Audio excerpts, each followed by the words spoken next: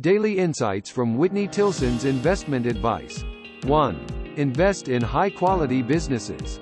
Tilson advises investors to focus on investing in high-quality businesses with strong fundamentals and competitive advantages. He believes that such companies have the potential for long-term success and value creation. 2. Perform thorough due diligence. Tilson emphasizes the importance of conducting thorough due diligence before making investment decisions.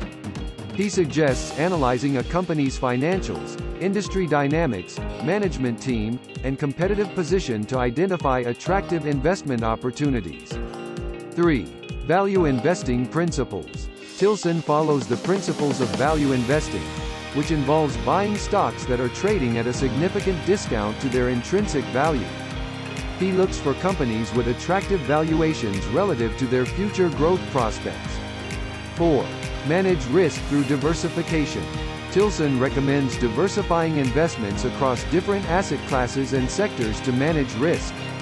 Spreading investments across a range of opportunities can help reduce exposure to any single investment or sector. 5. Stay disciplined and patient. Tilson stresses the importance of discipline and patience in investing.